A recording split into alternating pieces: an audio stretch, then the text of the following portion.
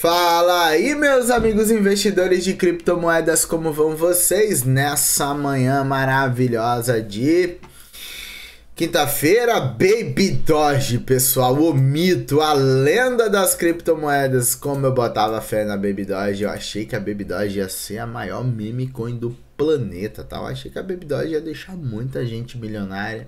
Achei que a equipe ia queimar todo aquele supply. Eu achei muita coisa e não consegui é, acertar nada sobre a Baby Doge. Eu cheguei a ganhar um dinheiro sobre a, na Baby Doge, cheguei a perder um dinheiro com a Baby Doge e agora eu tô no 0 a 0 com a Baby Doge. Olha que loucura!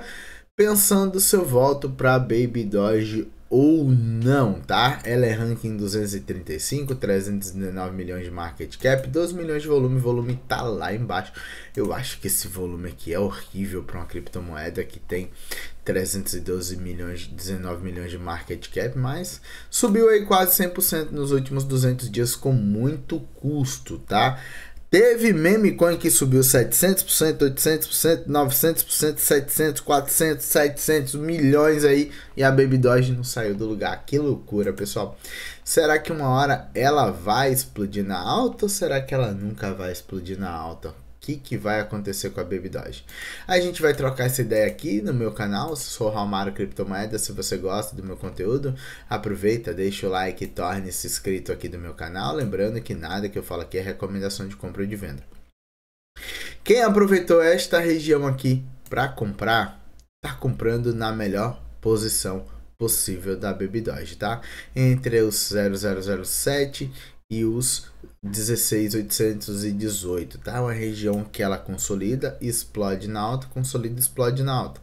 As últimas altas foram na casa do 43, outra na casa do 36 e agora a gente teve uma na casa dos 27, a máxima bateu 27,474, tentando romper a linha de tendência de baixa, tá? Que vem desde esse topo histórico aqui da Baby Doge.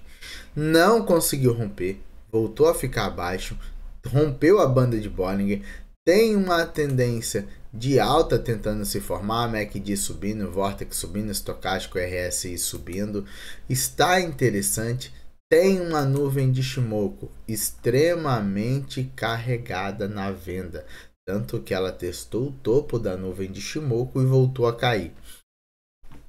Assim, se a equipe da Baby Doge não mudar os parâmetros, fizer alguma coisa que chame a atenção da Baby Doge, se ela não for listada na Binance depois de tantos pedidos e tantas negativas, não sei como é que vai ser. Eu fico na dúvida, tá, pessoal? Se realmente vai. Acredito que no meio do bolo da out-season ela corte ainda um zero. Então, para quem está comprado entre esse 2 e esse 1 um aqui, pode ser que faça mil por cento em Baby Doge. Mas eu não estou botando fé que ela vai fazer aí 10 mil por cento, 100 mil por cento. Não, não sei não, hein? Então vamos ficar de olho na Baby Doge. Se ela romper e fechar o candle aqui acima do 27, a gente tem uma possível aceleração de alta. Muda completamente a tendência da Baby Doge para alta. Só que por enquanto a gente tem muita dificuldade. O dia de hoje tá interessante, tá? A gente está brigando aí nesses rompimentos. Estamos em fractais de alta. Porém, preço abaixo da linha de tendência de baixa não é muito bom para o investidor.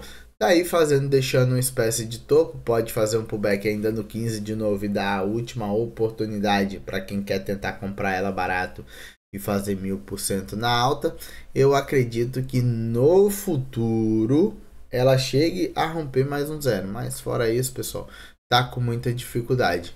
Quem conseguiu comprar aqui nessa região dos 900 fica mais fácil ainda, tá? Para ganhar esses mil por cento. Mas a Baby Doge poderia queimar os tokens que tá na mão da equipe e a galera tem medo da equipe despejar toda aquela quantidade de token no mercado numa explosão de alta e os investidores ficarem a ver navios e o supply obviamente atrapalha, tá? Mas se a equipe queimasse, voltasse aquelas queimas de 3, 4 trilhões, 2, 4 trilhões, 1 4 trilhão que seja, já era muito bom para os investidores. A tendência aqui é buscar alta, vamos ver se ela fecha aqui no 27 a semana e aí a gente muda o teorema para uma tendência forte de alta. Eu sou Raul Criptomoeda. Se você gostou desse conteúdo, aproveita, deixa o like e torne-se inscrito do canal. Lembrando que nada que eu falo aqui é recomendação de compra ou de venda. Aquele abraço para vocês, até a próxima e fui.